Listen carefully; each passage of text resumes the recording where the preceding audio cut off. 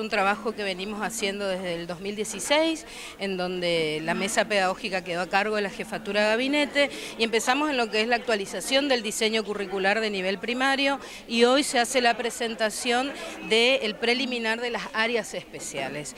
Digamos, y esto también va a ir a consulta, como el año pasado fue las áreas troncales. Es un trabajo colaborativo, de construcción colectiva, con los sindicatos que conforman la mesa, UDA, SADOP, UDPM, si hemos trabajado con representantes de sus sindicatos, con docentes propuestos por el gobierno educativo, es decir, hay una construcción por primera vez desde abajo hacia arriba, digamos. Esto es, eh, para que la gente se entienda, es como unificar un poco criterios y diagramar lo, que, lo que va a ser, digamos, eh, el material que va a disponer o va a enseñar cada docente a partir de por ahí el año que viene, no sé, hasta que se apruebe. Hay procesos administrativos que, que debemos cumplir, lógicamente, y por ahí destacar esto que decías, que no solo unificar unificar criterios, sino también tiene que ver con que por primera vez un currículum es hecho por los docentes y estaban en actividad, digamos. Siempre los currículums fueron desarrollados en escritorios por especialistas y se aplicaba. Nuestro currículum tiene 20 años, digamos, y dio bastante respuesta a lo que, a lo que eran las demandas de entonces, pero hoy necesitamos un currículum como este, actualizado, con educación emocional, atravesados por las TICs, con las ESI, educación vial, es decir, bastante complejo y, la verdad que coordinado y trabajado por diferentes estamentos de, acá de la provincia.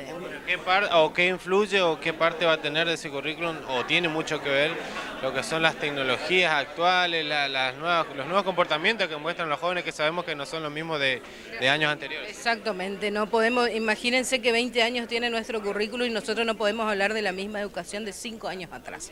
Así que está totalmente atravesado por las TIC, se contempla la robótica, eh, la, e, la, ESI, como decía, sí es un currículum bien completo que tiene la verdad que no solo la participación de educación, sino ha recibido aporte de diferentes sectores y lo importante es que fue trabajado por docentes. Y ahora nosotros hacemos la presentación formal a la ministra de Educación. Bueno, ya se ha hecho con otras materias, otras áreas, ahora le corresponde a las que mencionaba. ¿Y falta alguna más después? no, se hicieron las troncales, que son matemática, lengua, ciencias naturales, ciencias sociales. Ahora las áreas especiales que va a ir a van a estar desde hoy disponibles los links para que puedan entrar los docentes que quieran aportar y además también se va a llevar adelante el proceso de consulta institucional.